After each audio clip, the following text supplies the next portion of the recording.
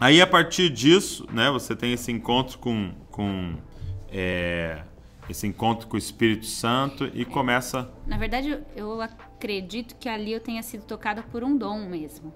Naquele momento, né, com 17 anos, eu na verdade recebi o dom de línguas. Entendeu? No. Sim. É.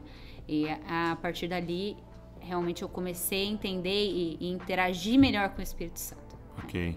E qual, qual que é a importância do dom de línguas na sua vida, assim? Então, é o que Paulo fala, né? É, quem fala em línguas, na verdade, edifica a si mesmo. Eu acredito que Deus dá esse dom pra gente edificar o nosso homem interior, o nosso espírito. E ali naquele momento, eh, foi exatamente isso que eu senti. Dali pra frente eu comecei a crescer. Tanto é que orar em línguas é algo que eu oro também todos os dias. se eu te perguntar hoje, assim, como é que é o seu.